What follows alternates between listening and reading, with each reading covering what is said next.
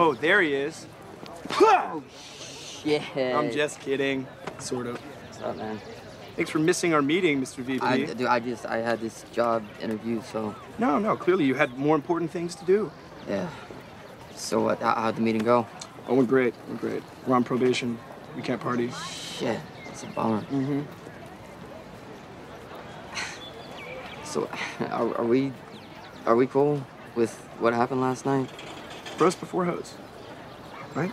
Yeah, Right? yeah, man. Junk before trunk.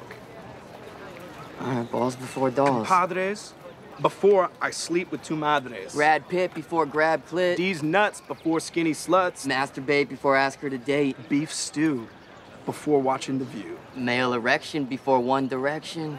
Mario and Luigi before Thelma and Louise. Bert and Ernie before Squirt and Spermy.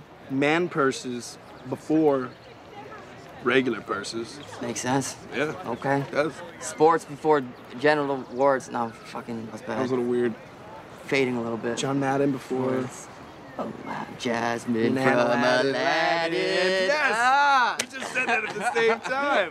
All right, all right, man. I should probably. But I'll see you back at the house, though, yeah? See you, brother. All right, good talk, man. Later.